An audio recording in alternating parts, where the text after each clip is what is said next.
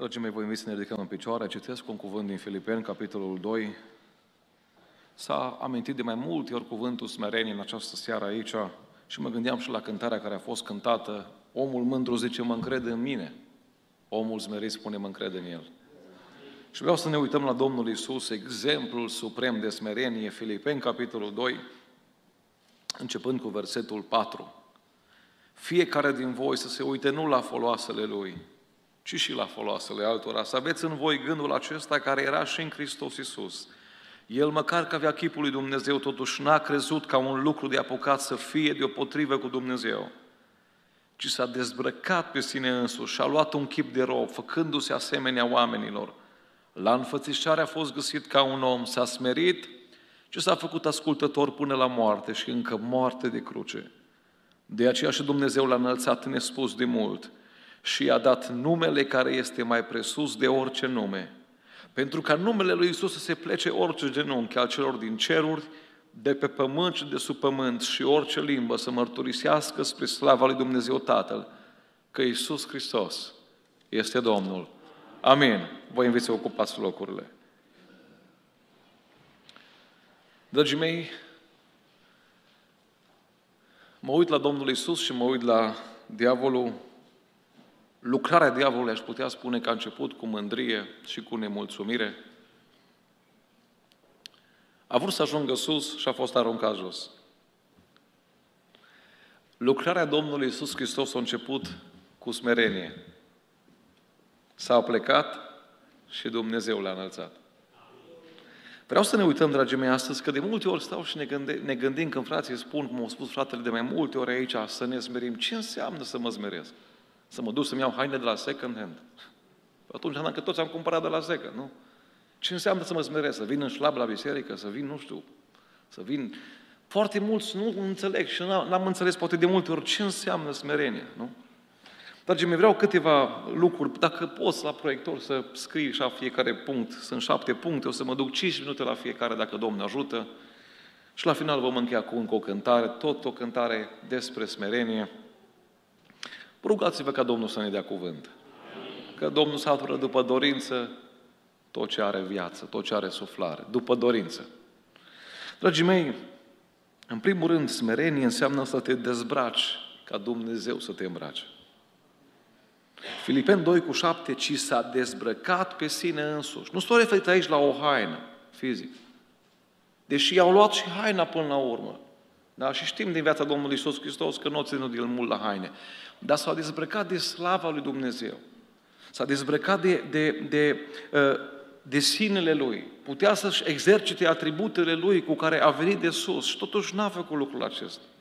S-a dezbrăcat de pretențiile Lui și spune Biblia, a luat un chip de rob, făcându-se asemenea oamenilor. Dragii mei, s-a dezbrăcat de slavă și a luat un trup de carne și a fost asemenea ca și noi. Mă gândeam la David, când a venit să se lupte cu Goliat. Știți că dacă Saul s-ar fi luptat cu Goliat, n-ar mai fi scris în Biblie nimeni întâmplarea aceasta. Că pierdea Saul, că pierdea Goliat, nu mai conta. Dar a venit un om, un David, și a mers și a încercat să se îmbrace cu armătura lui Saul. Știți ce m-am gândit? Dacă Domnul nu-l făcea pe David să se simtă incomod în armura lui Saul, biruința și minunia înfrângerii lui Goliat era explicată de armura lui Saul. Așa nu putea explica cu o praștie și cu o piatră. Și a fost o minune. Și când e minune, toată slava o primește Domnul. Slăvit să fie numele Lui. Dragii mei, mă gândeam, mă gândeam la Iosif, va trebui să fie dezbrăcat de haina pestriță, nu? Există domeniul acesta al dezbrăcării. Nu știu care e talentul sau talentul care l-ai primit, da? Sunt daruri cu care ne naștem în mod nativ. Darul, de exemplu, darul de a cânta, nu îl primești la stăruința după Duhul Sfânt. Te naști cu el, da? Dar știi că darul ăsta, dacă îl folosești pentru Domnul cu smerenie, toată slava ea se aduce numai Lui.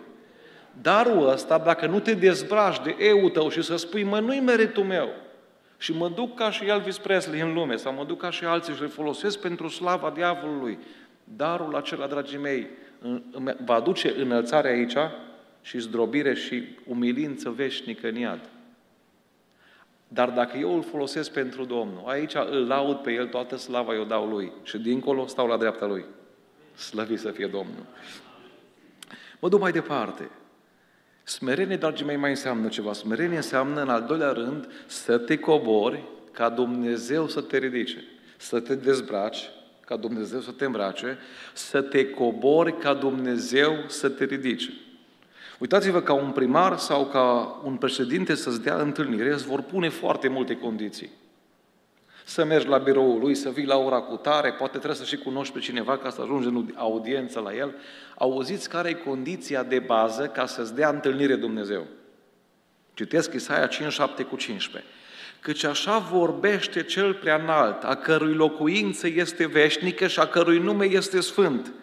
Eu locuiesc în locuri înalte și în sfințenie, dar sunt cu omul zdrobit și smerit, dar ce să fac? Să vin să-i mai dau una, nu? Ca să înviorez. Dragii mei, ă, dacă poți să afișez acest verset, afișează acolo în spate, ar fi tare bine. Partea mea e să mă smeresc. Auziți ce face Domnul? Înviorează. Ca să înviorez duhurile smerite și să îmbărbătez inimile zdrobite. Oare cum stăm astăzi cu smerenia, cu coborârea? Dragii mei, mă gândeam că cea mai mare distanță din univers nu e de la Pământ la Lună, să știți nici de la ce vrea să facă Elon Musk, să ne ducă pe Marte. E o distanță considerabilă, nu? Și SpaceX lucrează din greu. Cea mai mare distanță din univers a fost de la cer la Iesle.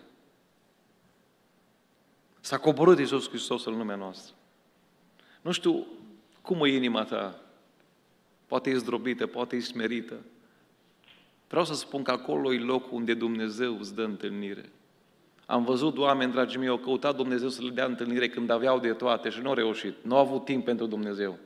Îmi scria cineva din spital, frate Cristi, când eram sănătos, n-aveam timp să citesc Biblia. Acum am aici trei Biblii cu mine în spital. Mai multe versiuni, că am timp de studiu. Atunci n-am avut timp.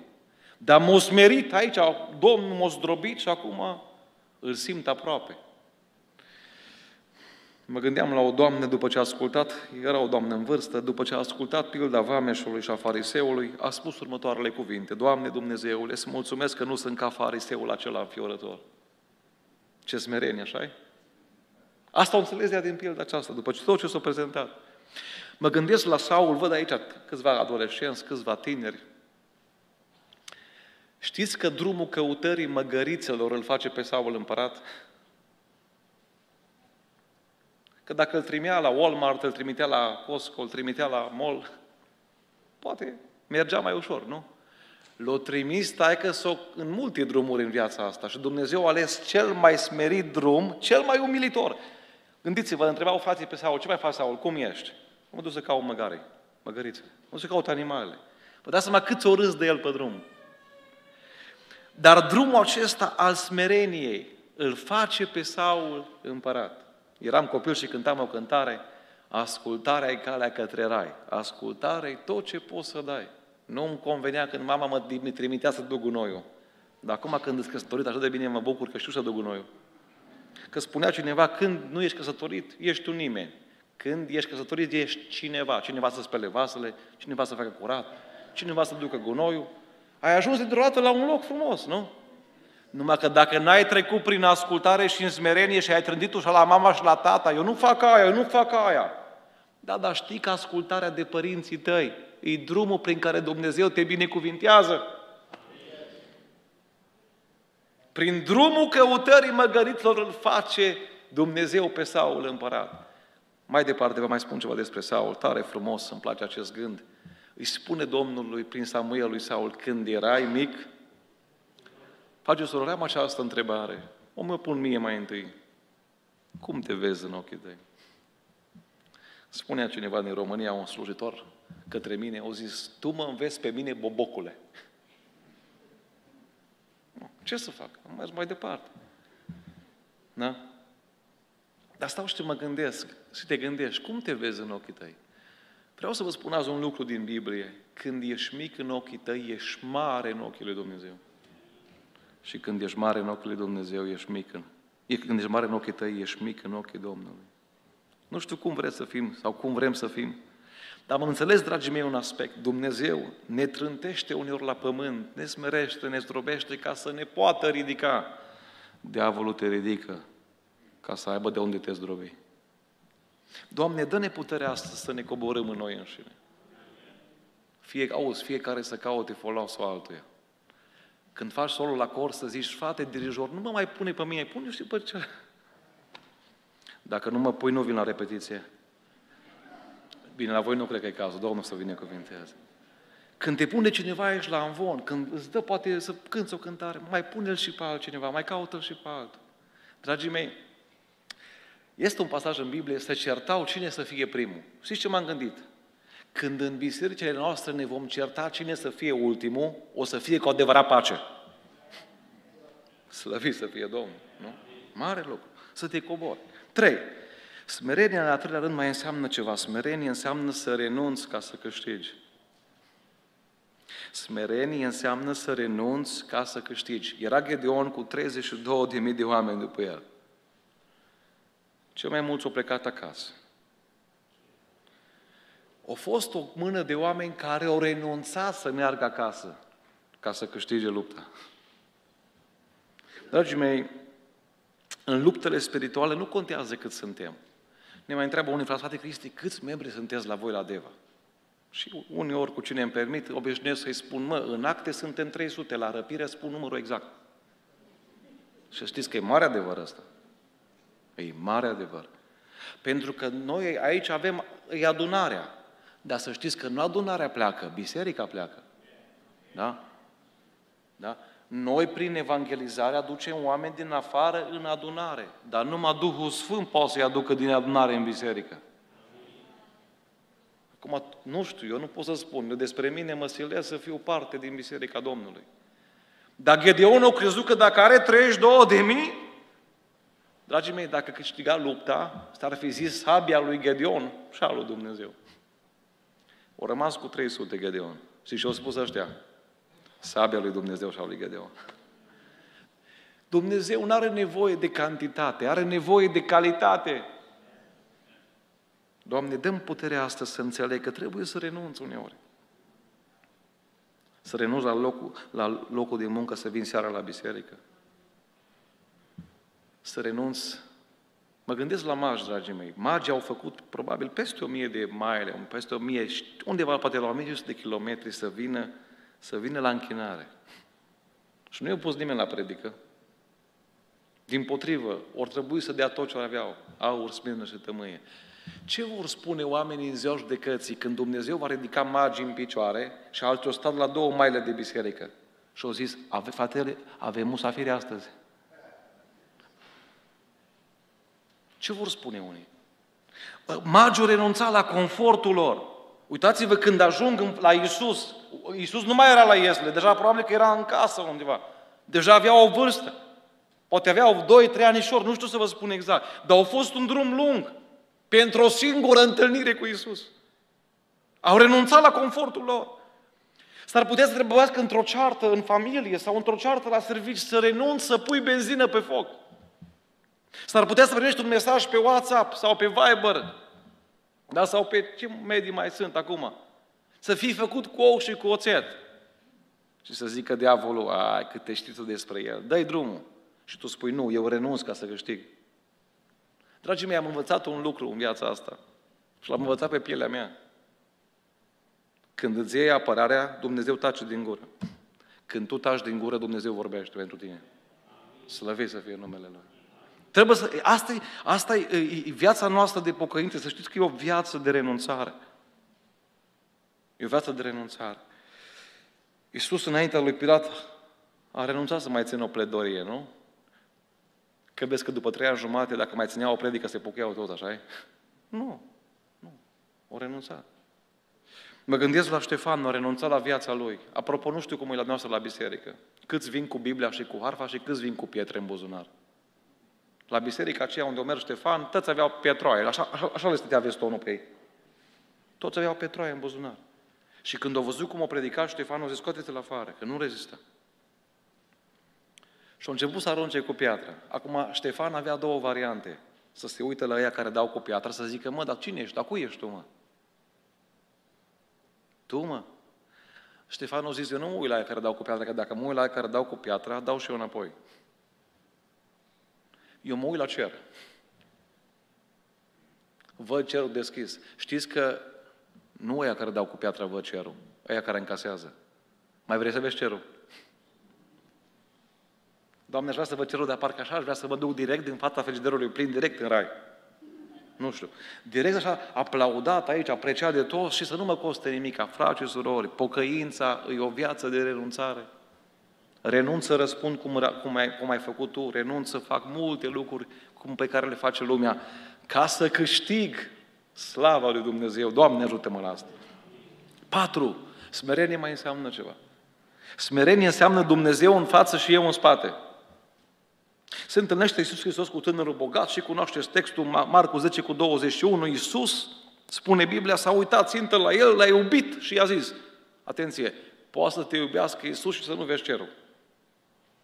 Ca eu să mă căsătoresc cu soția mea, nu a fost suficient ca ea să mă iubească sau eu să o iubesc. A fost o relație reciprocă.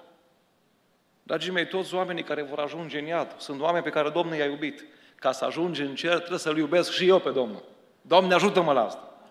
S-a uitat uh, la Isus, la omul acesta și a spus, îți lipsește un lucru. Du-te de vinde tot ce ai și de la săraci și vei avea o comoră în cer. Acum fiți foarte atenți. Apoi vino, ia crucea și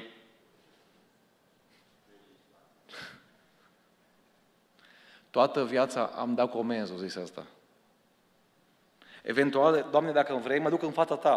Plătesc cazarea la hotel, plătesc motorina, eu plătesc masa, zice, eu, ca și fariseul ăla de Luca 7, eu mă cheltuiesc. Da, dar femeia a fost iertată, el a rămas mai cu cheltuiala.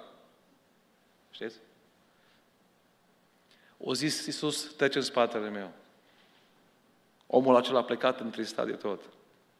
Dragii mei, când merg după Iisus, să știți că merg unde merge El, la închisori, la spitale, la azile, la bătrâni, la oameni săraci. Spunea o cântare, dă acum din pâinea ta foame să-și distrame, căci în cer în veci de veci nu va mai fi foame.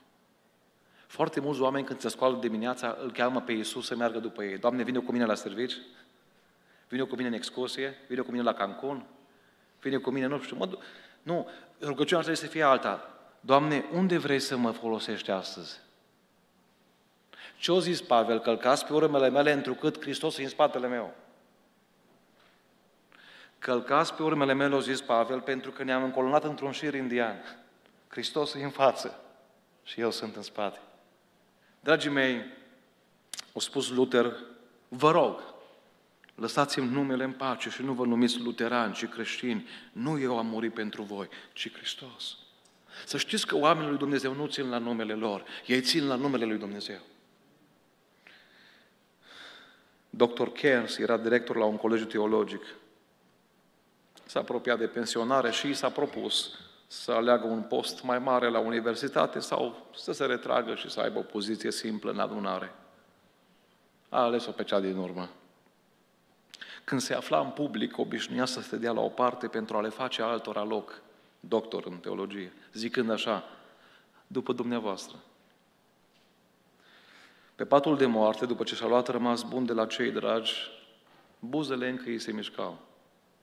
Cineva s-a plecat să-i prinde ultimele cuvinte adresate fără îndoială aceluia pe care l-a slujit cu smerenie toată viața.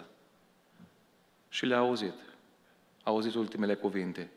Tu mai întâi, iar eu te urmez. M-aș bucura să se încheie și viața mea așa. Știți, nu poți să trăiești ca bogatul din Luca 16 și să mor ca săracul. Zice că pe sărac l-au așteptat îngerii și l-au dus în sânul lui Avram. Foarte mulți cred că dacă săracul a ajuns în cer că nu a avut bani. Dragii mei, săracul, Lazar, a ajuns în cer pentru că era bogat. Cei care l-au pe Dumnezeu sunt bogați. Noi ne uităm așa în parcare, bă, Tesla. Ah, cine are ca și mine? Nu, întrebarea nu e dacă ai nu știu ce mașină, întrebarea dacă ai cerul. Bogatul a ajuns în iad pentru că era sărac. Nu-L avea pe Dumnezeu. O zis Dors, de-aș avea toți banii lumii să-mi stea în vraf arginții, în zadar dacă mi-aș pierde aurul credinței. Cât aur ai astăzi? Nu la gât sau pe mâină. Cât aur ai în inimă? O zis Petru, indiferent de inflație, de cum crește bitcoinul, indiferent de ce se întâmplă, totdeauna credința e mai scumpă ca aurul. Slăvit să fie Domnul. Dragii mei, mă rog astăzi Dumnezeu să meargă în fața noastră și noi după El. Pățesc uneori, mă duc cu, cu unul din copiii mei la cumpărături, am, avem șase copii, Domnul ne-a binecuvântat, mai rar iau pe toți, că se sperie tot Kauflandul. Deci, când merem cu 5, 6, zici că am venit pe Marte, așa se uită la noi. Că, acum nu știu cum e la voi în America, la noi în România au apărut câinii și pisicile. Dar să știți că să știți că va fi mare diferență între mama care crește copii și aia care crește pisici. Aici l-am mai spus, aleluia, vorbește, Doamne. mai veniți pe la noi. God bless you, brother. Dar, dragii mei, să știți că viața de pocăință, o viață de sacrificiu. Dar mă duc așa înainte și când ajung pe la raftul de jucării, pruncul meu o ia în față. Numai că știe că nu are cu ce plăti. Și atunci am vrea să mă prinde de mână. Știți? Și atunci zic, trece aici la mine, vino aici. Și îl iau eu de mână și îl duc la făină și la ulei. Nu-i convine. Nu-i place. Dar m-am tot gândit, dragii mei, că cam așa facem și noi cu Dumnezeu. Tot la jucările noastre suntem. Nu? Tot pe TikTok toată ziua, pe Insta. Și nu poți să renunți la un film pentru Dumnezeu, nu poți să renunți la, la un meci. Am un prieten undeva în țară, are un cer de rugăciune acasă. Și îi trimite un frate un mesaj. Azi nu pot să ajung, joacă steaua. Vă dați seama, vă dați seama că Dumnezeu era în față la steaua și el în spate, nu? Păi Dumnezeu nu avea cum să fie și pe stadion și la rugăciune. Dumnezeu era la rugăciune. Dragii mei, nu-mi doresc altceva decât Domnul să fie în față și eu să fiu în spate, ascultător până la moarte, indiferent cum se va întâmpla. Dar știu că într-o zi am să-L văd pe El, slăvit să fie Domnul. Cinci, smerenie mai înseamnă ceva și poate este cel mai greu punct. Smerenie înseamnă să mor ca să trăiești. Ioan 12 cu 24, adevărat, adevărat vă spun că dacă grăuntele de grâu căzut pe pământ nu moare, rămâne singur. Dar dacă moare, aduce multă roadă. Ce grea e moartea asta. R.C. Chapman spunea, dacă aș accepta bucuros să nu mai fiu nimic, nu m-ar mai putea afecta nicio ofensă. Iar atunci când am ajuns efectiv un om smerit și știu că nu-s decât un vierme, nu mă mai plâng dacă sunt încălcat în picioare. Uh, cum faci când ești călcat în picioare? Ați observat când ai o sticlă de apă plină, poți să o calci, să o arunci, nu face gălăgie. Când o sticlă e goală și o strângi, Dragii mei, oare chiar a murit? Te afectează loviturile? Înseamnă că n-ai murit. O venit Hudson Taylor și vă recomand, mai ales la tineri, să citească cartea acestui mare titan al lui Dumnezeu. Mi-am pus numele la prima fată după numele fetei lui Grace. O venit și-a vizitat America. Și-a mers undeva și-a predicat și-a venit un reporter. O scris un articol despre el a doua zi în care l-a făcut în toate felurile. Gazda la care stătea fratele Hudson Taylor primea ziarul în fiecare dimineață. O mers gazda, o luat ziarul și când a văzut articolul, l-a ascuns, să nu cumva să vadă Hudson Taylor. Numai că el a mers la tren apoi ca să meargă spre port, să se îmbarce și în tren a venit asta care împărțea ziare. Și a ajuns și în mâna lui ziarul. Și a citit Hudson Taylor tot articolul și l-a pus jos și a spus așa, sunt mult mai rău decât au scris reporterul ăsta. Dragii mei, Știți ce mă doare? Că am botezat mulți oameni vii. N-au renunțat, n-au murit încă. Mulți creștini nu pot rodi pentru că n-au murit întâi. Ai murit față de pretențele tale, de eul tău, de personalitatea ta? Avem mulți oameni gata să dea mii de euro la biserică. Dar dacă îi întreb unde au fost joia seara, ți-ai sculat până în România tot neamul pe cap. Sunt oameni gata să facă orice, dar nu cumva să te bagi în viața lor privată. Nu cumva să-i întreb cum stau cu rugăciunea, cum stau cu Biblia. Îi irită faptul ăsta. Mă rog astăzi, dragii mei, ca și bobul de grâu, să mă ajute Domnul să mor față de mine, de pretențiile mele și să viu la o viață nouă împreună cu El și El să poată rodi în mine. Șase. Smerenie mai înseamnă ceva. Smerenie înseamnă să slujești ca să domnești. Marcu 10 cu 42, Iisus i-a chemat la el și le-a zis, știți că cei priviți drept cârmuitori domnesc peste neamuri și mai mari lor le poruncesc cu stăpânire între voi, dar între voi să nu fie așa, ci oricare va vrea să fie mare între voi, să fie slujitorul vostru. M-a sunat într-o zi un frate din Oltenia și a zis, frate Cristi, nu poți să vii și pe la noi. De trei ani jumate nu mă a vizitat nimeni. O să am sunat pe anumiți oameni și m-au întrebat câți membri sunteți.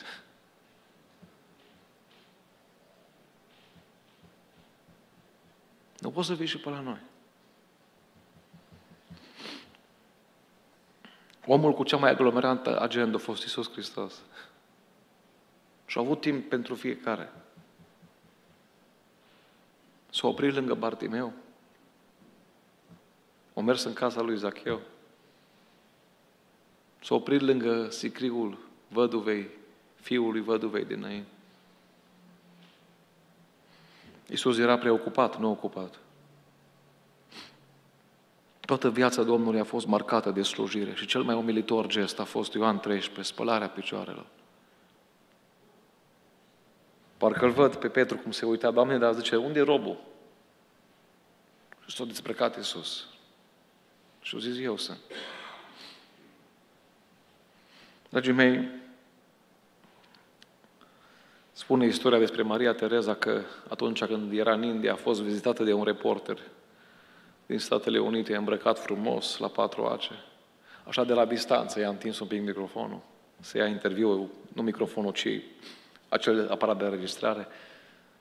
Și a zis, Doamnă Maria, cum puteți să vă apropiați de leproșii ăștia de... O zis, nici pentru un milion de dolari n-aș face asta. Și o zis Maria, pentru un milion aș face nici eu, dar pentru Isus fac. Aleluia! Citeam despre faptul că istoria creștină vorbește despre o călăgoriță care a ajuns foarte vestită prin minunile pe care le făcea. Papa a trimis la ea pe un slujitor numit Filip să vadă dacă mărturia e adevărată, lucrarea e adevărată. Solul, adică Filip, a ajuns la destinație și plin de praful drumului și istovit, i-a cerut călugăriței să-l ajute să scoate cizmele din picioare.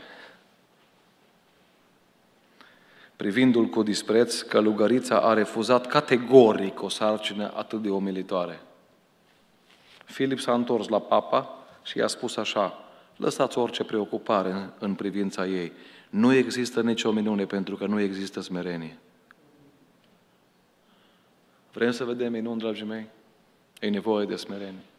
Mi-aduc aminte, în România, după primul război mondial, un mare general de armată a vizitat pe un rănit care era acolo în spital. Un om care a fost erou pe front, a făcut gesturi de vitejie.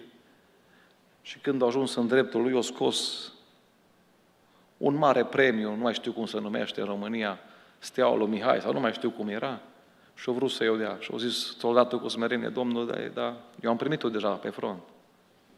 S-a speriat generalul. Și au zis, păi dacă ai primit-o, de ce nu o porți? Și au zis, nu o port pentru că colegii nu, ei nu au primit-o. Să fim egali, nu? Știți că suntem trei, sunt trei locuri unde suntem egali. În biserică, în spital și la cimitir.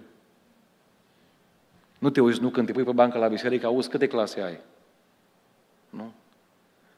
Când ai vrut să fii ultima dată egal cu cel de lângă tine? Doamne, ajută-mă să pot să slujesc mai mult. Că atunci când vine ziua, dragii mei, în cer nu o să mai slujim cum slujim acum. Dar ai aici această oportunitate să slujești ca să domnești într-o zi. Cât de mult slujești? I-am vizitat părinții și am lăsat copiii la ei înainte să vin în America, eu șase, fratele meu șapte. Nu să plictisesc părinții mei. 13. Da. Și când am ajuns în curte, am văzut acolo căldări, mirosea sarmale și am zis, ce faceți? Și cu modestie părinții mei au zis, 21 de surori din biserică au venit astăzi la noi acasă ca să facem peste 4.000 de sarmale pentru un azil de bătrâni. Am plecat așa de bucuros, frate și surori. Eu care sunt pe YouTube nu o să am răspata surorilor la celor la care n-au niciun like de la oameni. Că Dumnezeu vede invers lucrurile, știți? Ucenicii au dat like la aia care puneau bani, cât mai mulți. Iisus a dat like la văduva aceea. Am frica asta în mine, nu cumva să văd cum vede lumea. Auzi câte views ai? Câte like-uri? Cine dă like la oamenii ăștia pe care nu-i vede nimeni? Și care acolo unde Domnul i-a pus, îl slujesc pe Dumnezeu. Și în ultimul rând, dragii mei, și vreau să mă apropii de încheiere și apoi să mai cânt o cântare cu biserica. Smerenie înseamnă să pui mai mare preț pe interior decât pe exterior. Trăim într-o lume a exteriorului. 95 de milioane de fotografii se urcă în fiecare zi pe Instagram. 95 de milioane. Încă n-am văzut nicio poză cu o fată care spală vasele pe Instagram. A văzut așa? Păi, îți dă bloc imediat. Nu? N-am văzut încă nicio poză cu un băiat care vine joia la biserică și stă pe genunchi și se roagă în bancă singur. Nu. N-am văzut. N-am văzut nicio poză pe Instagram cu cineva care merge în Oltenia, tot îmi spun tinerii, de Cristi, așa de multe ispite am, imoralitate, probleme. Hai mă, lasă pat la o grădină la o văduvă, mai ai ce o ispită. Nu? Încă n-am auzit pe nimeni să zică, mă, în timp ce meream la spital cu sandwich în timp ce meream la homeless pe stradă, așa m-am ispitit, mă. N-am auzit. N-am auzit. Știți, dragii mei, că trăim într-o lume unde contează cel mai mult exteriorul? Trăim într-o lume a imaginii. M-am oprit într-o zi să cumpăr un iaurt de fruct, eram cu soția și cu cel mai mic din copii mergeam undeva la o nuntă în Bucovina și era un iaurt așa frumos, era o căpșună mare și o rodie mare, ziceai că numai căpșună și rodie e înăuntru. Și am întors, 3% căpșuni, 0,2 rodie. Poftă bună. Mi-am dat seama că dacă iau la cancer fac. Dar m-am gândit, dragii mei, la noi. Cât e la noi imagine și cât e cu adevărat substanță? Că eu pot să pozez în fața bisericii. Eu pot, băi, ce pocăită e asta. Da, dar Dumnezeu întoarce. Și se uită în odaie. Cât de timp stai în odaie de, sus, de jos sau de sus, cu care o ai acasă, nu știu la ce etaj sau la parte. Cât timp stai cu Domnul? Dragii mei, trăim așa într-o lume unde contează foarte mult ambalajul. Mai mult decât conținutul. Ambalajul contează. Spunea o mamă sărmana, ca și mama lui Ahazia din Biblie, zice către o fată, către fata ei, îmbracă-te cât mai strâm, zice, ca să te căsătorești mai repede, zice. Vă dați seama ce a învățat femeia asta. Păi dacă pentru corp te ia, le mai spun la tineri, cu corp trebuie să-l ții până la finalul vieții. Dacă te ia pentru mașină, cu ultimul model trebuie să ții, că ea știe când apare următorul model. Nu? Dar dacă te ia din cauza caracterului. Spunea fratele Nicolae Ciuruc, un om pe care l-am stimat mult, o plecat la Domnul, când frumusețea trece, nu rămâne decât caracterul. Păi vreau să te întreb astăzi înaintea Domnului, cât de mult preț pui pe imagine? Să mă duc un pic mai adânc, dar mi-e frică că vă veți supăra, dar dacă vă supărați și vă pocăiți și ne pocăim toți, să vă supărați. Cât stai în fața oglinzii și cât stai în fața Bibliei? Așa că de multe ori ne-am dorit să vadă oamenii ce bine arătăm noi. Dar știți că Domnul se uită dincolo de cămașă. Se uită Domnul la interior. De multe ori tânjim după like-urile oamenilor. Știu, tinerii în România nu pot să doarmă când urcă o poză pe internet, dacă n-au numărul de like-uri, nu pot să doarmă. Au un target, știți? Dacă nu și-a făcut targetul în ziua aia. Dar vreau să te întreb astăzi un lucru. N-ai vrea să atragi privirea lui Dumnezeu? Vă dau exemplu Estere, dragii mei, pentru că foarte mult îmi place, foarte mult. Foarte mult. Nu știu cum a putut să crească Mardoheu așa fată. Mă tot gândesc. Știți că atunci când ajungi sus în viață se vede cu adevărat ce caracter ai? Putea să zic că babacule, nu te mai prin pe aici pe la împărație. Acum eu sunt împărătească. Știu astfel de tineri. Când au ajuns sus, praf și-au făcut părinții. Nu intru în detalii. Spune că Estera urmărea tot cu atâta scumpătate sfaturile lui Mardoiu ca și atunci când era la el acasă. Și într-o zi vine ziua grea. Vine ziua când Estera trebuia să atragă privirea împăratului. Și putea să zic că mi iau pe mine ceva strâmt, să crape pe mine, să se uite la mine asta, nu? Sau nu știu, îmi bag niște botox. Sau îmi fac ceva, nu știu, sau... Nu. Dragii mei, atât de mult îmi place de Estera. Estera au știut un lucru. Eu nu privirea împăratului ăsta, iată să atrag. Eu trebuie să atrag privirea lui Dumnezeu. Că El e împăratul împăraților și Domnul domnilor, slăvit să fie numele Lui. Și au zis, mă, cum pot să atrag privirea lui Dumnezeu? Că Dumnezeu nu la trupul meu se uită, nu pot să-L atrag pe El cu exteriorul meu. Nu? Și atunci și-a adus aminte că atunci când era copil, Biblia nu scrie, dar m-am gândit că așa au fost. Cred că o dată pe săptămână Mardoheu nu-i punea să înveți la școală. Așa făceau și părinții mei cu mine. Mi-a fost greu la început. Dar îi mulțumesc Domnului că ne-a învățat ce înseamnă valoarea postului și a rugăciunii. Și și-a dus aminte Estera de vremurile acelea. Și a auzit ce spune Estera. Eu am văzut mulți care îi pun pe alții la post, dar ei numai la grătare sunt și la steicuri. Am văzut care împartă așa, proroci, șapte zile tu, 40 tu, 30 eu și el la mici. Nu, o zis Estera Mardoheu, du-te, stai în post, stau și eu. Pentru că privirea împăratului pot să atrag numai cu post și cu rugăciune. Și dacă el, împăratul de sus, îmi întinde toiagul, ăsta la fel o să facă, că împăratul ăsta ascultă de el, nu? O mers cu riscul vieții. Vreau să spun astăzi că vor veni vremuri în viață când nu o să aibă nicio valoare cât ai pus pe tine, ce prochie, ce pantaloni ai luat, ce costum. O să ajungi în momente în viață când tot ce va conta va fi postul și rugăciunea. Dacă vrei ca împăratul să-ți întindă toiagul, dragii mei, postul și rugăciunea, să știți că omul mândru nu se roagă. Omul mândru nu postește. Numai omul smerit se aplacă și spune, Doamne, am ajuns în situație în care nu mai știu ce să fac. Dar vreau să vin la tine cu o zi de jertfă și vreau ca tu să-ți întinzi mâna și vreau copilul meu care azi întrântește ușa, care n-am nicio autoritate în fața lui, vreau să-l întorci tu. Dragi surori, avem un Dumnezeu care poate să lucreze. Dar Dumnezeu nu va lucra până nu mă zdrobesc eu. Uitați-vă la Iosif, spuneam aseară la Riverside, ă, la procesul ăla de zdrobire a lui Iosif. Stă față în față cu păcatul, refuză păcatul și ajunge la aceeași celulă cu ăla care vinde cannabis și marihuana. Ajunge la aceeași celulă cu ăla care face poate prostiile. Și ți se pare că Dumnezeu nu-i drept. Da, dar Iosif avea un principiu. Mai bine cu Dumnezeu în pușcărie decât singur afară. Și ajunge Iosif în închisoare și după vreo doi ani aude că unul nu pleacă, paharnicul pleacă. Pune o vorbă pentru mine. Știți că Dumnezeu va zdrobi în noi și încrederea în oameni? O va zdrobi. O pleca paharnicul și o uitat. Parcă-l văd pe Iosif spunând în închisoare, Doamne, dacă îi prind pe frații mei pe aici, te ferească Domnul ce le fac. Și au zis, Domnul, da, mai stai un an. O mai trecut un an, doi, cred că Iosif a zis, Doamne, dacă vin frații mei, deci eu, eu nu o să-i bat, eu nu o să-i bag în groapă, cum m-a făcut de mie, da? Dar toată viața o să le spun așa, cu mic, iertați-mi expresia, dar e foarte populară prin cei care îți mândri. Că un om sperie nu spune așa. Știți? O să le spun așa, voi, tu știi cine ești, mă?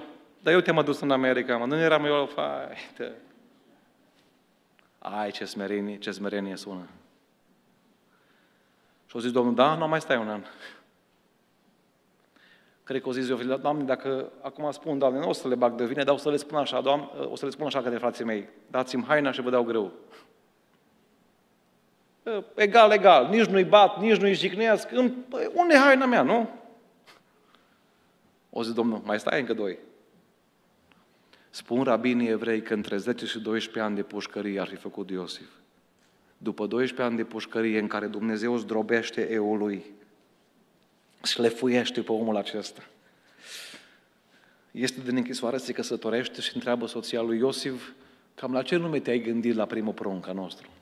Și spune Iosif, uitare. Parcă o văd pe soția lui Tresărin, dar ce vrei să uiți? Zice, ă, eu i-am iertat pe frați, dar încă am nevoie să uit ce m-au făcut frații. Că mulți te iartă, dar nu te uită. N-ați pățit. După 20 de ani, vă duce aminte. Îți scoate ochii. Și era Iosif în casă și striga, uitare! Hai să te speli pe mâini că mergi la școală, hai să te îmbraci. Și până venea uitare, pleca capul jos Iosif și spunea, Doamne, ai șlefuit în mine atâția ani. Ajută-mă să pot iubi, ajută-mă să pot să, să pot să uit, ce, să, să nu-i uit pe frați. Că unii te uită, a, nu te mai cunoaște.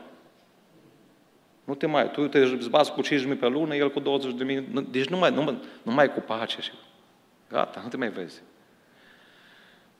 A doua naștere, întreabă soția Iosif, ce nume? Sper că nu vii tot cu nume din alea, cu uitare și cu iertare și cu prostii de naștere. O zis, nu, rodire, zice. Că după ce am uitat, am iertat, poate rodi dragostea. O venit frații lui Iosif într-o zi. M-am întrebat ani de zile de ce pune Iosif paharul în sacul lui Beniamin. Într-o zi, prin îndurarea Domnului, Domnul mi-a dat un răspuns. Și au zis, Domnul, o vrut Iosif să vadă dacă îi doare când mai pierd un frate. Că la primul nu i-a durut. O zis Iuda, Domnul meu, ia-mă pe mine. Se schimbaseră între timp. O lucrat Domnul și în viața lor. Trec repede. Spune Biblia că atunci când s-au întâlnit și s-a descoperit Iosif, a plâns împreună cu ei toată casa lui Faraon. Până la casa lui Faraon s-a auzit plânsul. Am această întrebare. Ce aud egiptenii din California în familia ta? Plâns la rugăciune, la împăcare sau altceva? Da, dar au fost merenie, au fost drobire. Primul ministru coboară de aici, de sus, de pe scenă și merge și îl ia pe Iuda în brațe. Știți că moare Iacov. Și vin frații smeriți. Iosif zice, nu, știi cum sunt mai mulți frați de noștri de la... Nu, știi cum e că până te ești tata, vorbesc frumos cu noi. Vreau să te rugăm frumos, iartă pe robii tăi. Se uită Iosif la ei și le spune așa, nici acum n-ați înțeles. Voi nu m-ați făcut niciun rău. Dumnezeu m-a trimis înaintea voastră ca să vă salvez viața. Ce smerit om! Ce smerit! N-ai vrea în această seară să spui, Doamne, vreau să mă smeresc. Vreau să cânt această cântare, dragii mei. Tatăl meu, când mai aude că am fost într-o parte și în alta, face un lucru tare de folos pentru mine. Îmi zice, Cristi, să nu uiți ce te-am învățat. Să nu uiți cântarea care te-am învățat. Și o cânt împreună cu voi. Sunt un bulgăraș prea mic, sunt un strop de rouă în soare. Și cu cât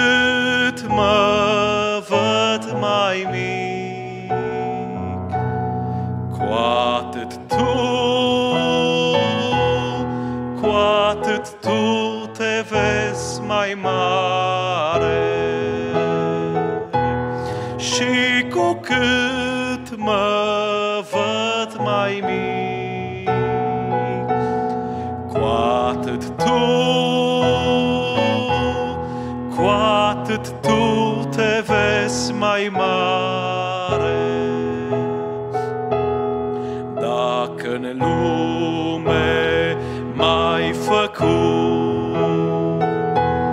o fereastră către tine, cu cât sunt mai nevăzut,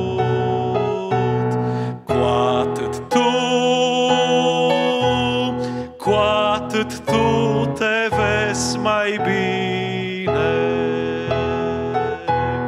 Cu cât sunt mai nevăzut, cu atât tu, cu atât tu te vezi mai bine. Doamne, când sunt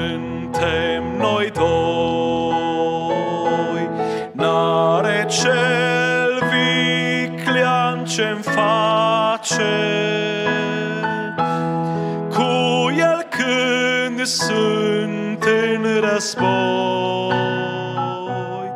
cu atât tu,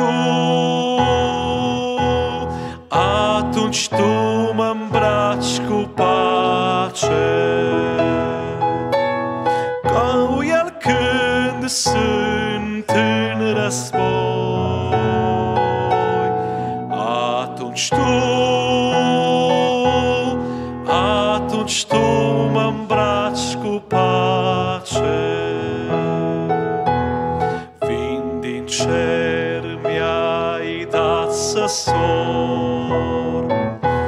și pe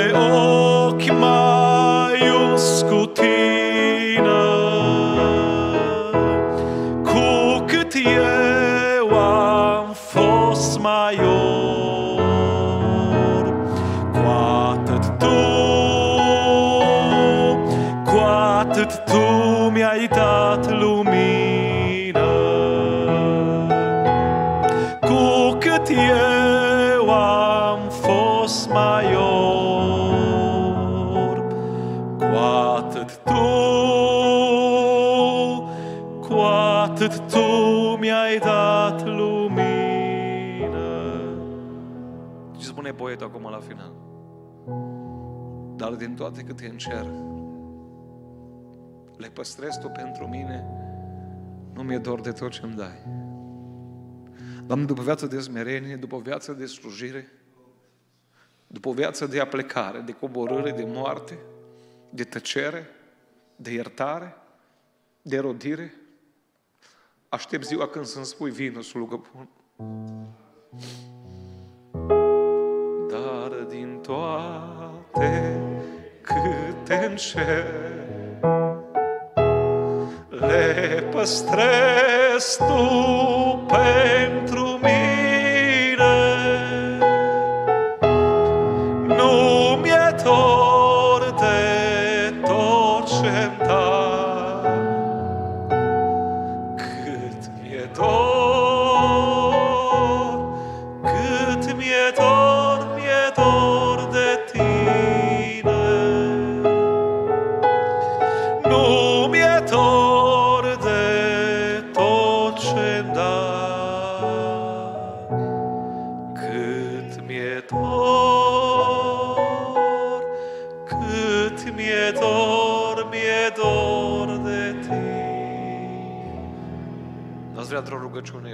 picioare, să spunem, Doamne, avem nevoie să ne smerim mai mult.